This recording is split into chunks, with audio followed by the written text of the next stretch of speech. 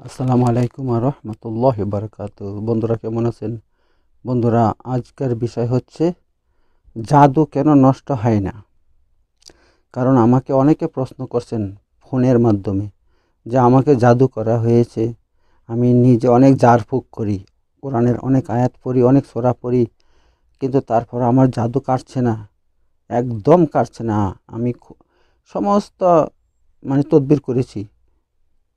জাদু আমার কাটে না, সে কী করে আমি তার থেকে মুক্তি পাব?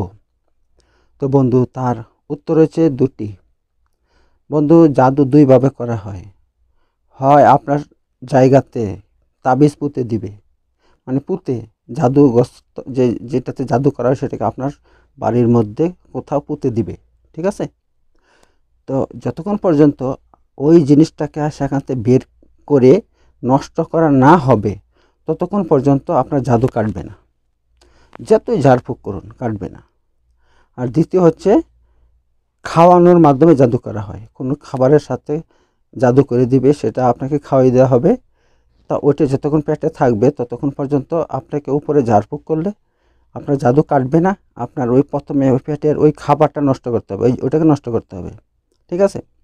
নষ্ট করতে হবে, তবেই আপনার জাদু কাটবে। তো এবার অনেকেই, অধিকাংশ মানুষ, অধিকাংশ কবিরাজ মানে যারা জাদু মানে তদবির করে, তারা জানেই না কি করে আপনার, ওইটাকে আপনার কোথায় জাদুটা পুঁতা আছে, সেটা কী করে বার করতে হয় তার পদ্ধতি জানে না। তারা শুধু কি করে, তাদের কাছে রুগী এলে তারা ঝাড়ফুঁক করে দেয়, তারপর আপনার তেল ফোড়া, জল ফোড়া দেয়, আর তাবিজ দিয়ে দেয়।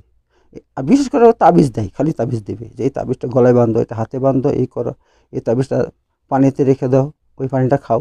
কিন্তু অত জাদু কাটবে না বন্ধু। ওগুলো কাটবে না, জাদু কাটে একমাত্র কোরআনই আমল দ্বারা। কোরআনের মধ্যে কিছু জাদু কাটার কিছু আয়াত আছে। ঠিক আছে? যতক্ষণ পর্যন্ত আপনি ওই আয়াতগুলো পানিতে না পড়বেন, তেলে না পড়বেন, আর সেগুলো ব্যবহার না করবেন, জাদু কাটবে না। ঠিক আছে? তো আমাদের কাছে যদি কোনো রোগী আসে, জাদুগ্রস্ত রোগী আসে, তাহলে আমি, আমার কথা বলছি, যদি আমার কাছে আসে তাহলে আমি তাকে এমনভাবে তদবির করি এমনভাবে চিকিৎসা করি যে তার তিন দিনের মধ্যে তার জাদু কেটে যায়। তিন দিনের মধ্যে জাদু কেটে যাবে, ঠিক আছে? যদি তাকে খাওয়াই জাদু করা হয়, সেটাও কেটে যাবে। আর তাছাড়া যাদের কোনখানে পোতা আছে, কোথায় কোনখানে পোতা আছে সেটা আমি বার করব। বার করে সেটা নষ্ট করব, ঠিক আছে? কীভাবে তো সেটা কী করে আমি বার করব সেটা আমাদের আর পদ্ধতি জানা আছে। সে পদ্ধতির মাধ্যমে সেটা আমরা বার করি, ঠিক আছে? তো এই ব্যাপার। তো যদি আপনাকে জাদু জাদু করা হয়, তাহলে আপনাকে এমন একটা মানুষের মাধ্যমে চিকিৎসা করবেন যে এই ব্যাপার অভিজ্ঞ। অভিজ্ঞ তার কাছে বিশাল অনেক এলে- এলেম আছে এই ব্যাপারে, জ্ঞান আছে, ঠিক আছে? তার মাধ্যমে চিকিৎসা করবেন। কেন উটকো কুটকো মানুষের মাধ্যমে জাদু আপনি চিকিৎসা করার চেষ্টা করবেন না, কারণ তারা হিতে বিপরীত হয়ে যাবে, ঠিক আছে? তারা তো চিকিৎসা করতে পারবেই না বরং আপনাকে চারিদিকে মুসিবতে ফেলে দিবে। আর তাদের কাছে গিয়ে সময় নষ্ট করবেন, টাকাও যাবে, সময়ও যাবে সব কিছু যাবে।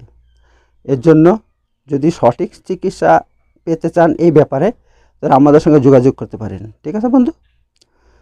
তো আমি প্রথমে কি করব? আমার কাছে এলে আমি প্রথমে ওই যে পোতা আছে, জাদুটা সেটা নষ্ট করব, সেটা তুলবো। তুলে সেটা নষ্ট করে দেব। আর দ্বিতীয় যদি খাওয়ার মাধ্যমে জাদু করা হয়, তাহলে সেটা প্রথমে পেটের ভিতরে যে জাদু করা হয়েছে, খাওয়ার মাধ্যমে সেটাকে নষ্ট করব। তার জন্য আমি কিছু তেল ফোড়া দিব, জল ফোড়া দিব, তারপর আপনার মধু পরে দিতে পারি, অথবা লবণ পরে দিতে পারি, অথবা কালো জিরা পরে দিতে পারি, ঠিক আছে? ওগুলো পরে দেবো, ওইটা পেটের মধ্যে যাওয়ার সঙ্গে সঙ্গে ওই পেটে জাদুটা নষ্ট হয়ে যাবে। পেটের জাদু নষ্ট হয়ে গেলে তখন আপনাকে আমি যে জিনিসপত্র দিব, ওটা তিন দিন ব্যবহার করবেন মাত্র তিন দিন ব্যবহার করলেই আপনার জাদু ইনশাল্লাহ কেটে যাবে।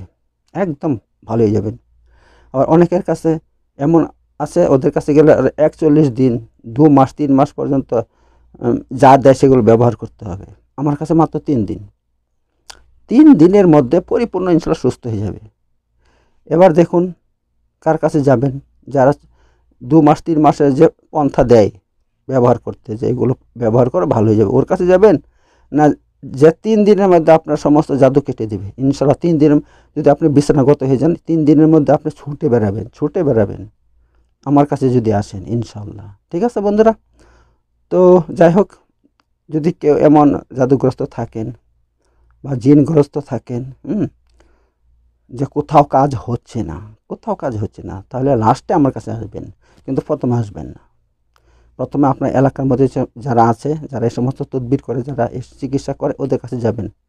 ওদের কাছে দেখে যদি ভালো হয়ে যায়, আলহামদুলিল্লাহ, খুব ভালো কথা। আর যদি না হয় লাস্টে আমার কাছে আসবেন। ওকে বন্ধু? তো জাদু কেন নষ্ট হয় না? প্রথমে আপনাকে এই যে পুঁতে পুঁতেছে সেই জাদুটা তুলতে হবে। তুলে সেটাকে নষ্ট করতে হবে। অথবা আপনাকে যদি খাওয়াই জাদু করা হয় পেটের ভিতরে যে জাদুটা আছে, সেটাকে প্রথমে নষ্ট করতে হবে। সেটা নষ্ট করার কি একটা আমার কাছে খুব সুন্দর একটা জিনিস আছে। আমি তেল পরা দিব আর জল পরা দিব।